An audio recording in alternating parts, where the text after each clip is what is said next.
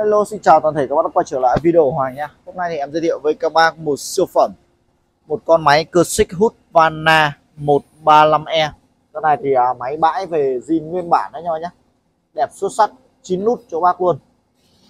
Con này thì được sản xuất năm 2013 Đây là tem uh, in thông số máy và uh, năm sản xuất cho bác nhá. Có bấm trực tiếp vào lốc luôn.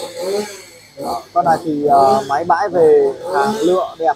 Tất cả còn zin hết toàn bộ luôn tất cả những tem mác này đều là tem zin trong máy hết nhá. đó. giờ này có tăng xích nhanh các bác này. Đó, ốp lam bằng nhôm này. Bên 135 236 236 này có cả à, nếu mà dòng 236 là ốp lam bằng nhựa nhé còn vâng, này ốp lam bằng nhôm luôn. Làm cũng zin hết, xích zin. Đẹp xuất sắc, không có gì để chê. Anh em nào lấy thì liên hệ qua số điện thoại của em nhé con này bít tông nó là 40 ly tông 40 ly trọng lượng là 5 kg anh em sử dụng trong gia đình khai thác cây nhỏ rất là ok luôn.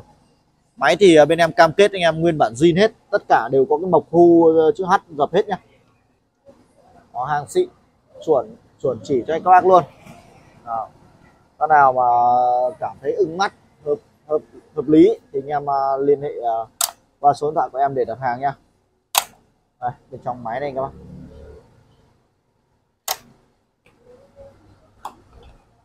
Trong máy đồ zin hết. Nòng điện chế đều ngon lành đẹp đẽ hết. Chưa có bung bổ máy gì nha.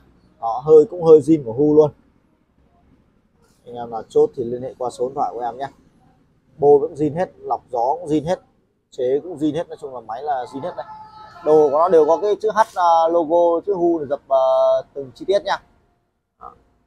Hàng xịn chuẩn cho bác luôn thì nó đều có cái đấy hết nghe là chốt thì à, giá con này hiện tại đang bán là 3 triệu 800 ngàn nha con nhá.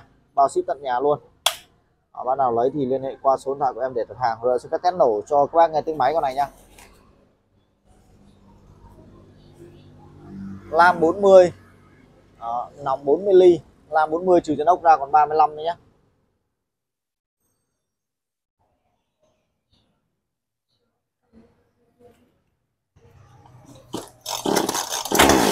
Đó, anh em đóng e giật nó nổ đây anh em đẩy e xuống này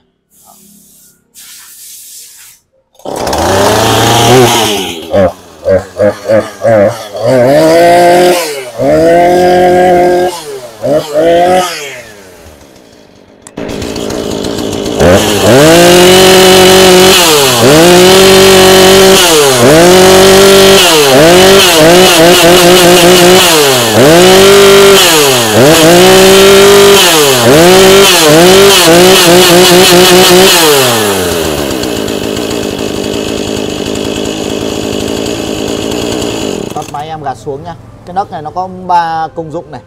Đó. Anh em để uh, lâu không nổ là anh em uh, rút cái cần ra một chút này. Rút ra một chút. Anh em gạt lên. Đó. Là đóng e. Nó đang đóng e nhá. Đó. Khi mà anh em giật máy một hai cái rồi nó nổ một tiếng rồi. Đó. Anh em đẩy cái này xuống lại một nấc làm mở e và nó vẫn đang mồi ga cho mình một chút này. Nó vẫn đang mồi ga cho mình một chút. Rồi anh em giật lại phát nữa, nó nổ, mà nổ ga ti lớn. Rồi anh em bóc ga cái là về nấc bình thường, nó kêu tách cái về nấc bình thường. Và lúc nào anh em tắt máy là gạt xuống, giữ một lúc là tắt máy nhá. Đó. rất hiện đại. Anh em nào chốt thì liên hệ qua em nhá. Xin chào các bác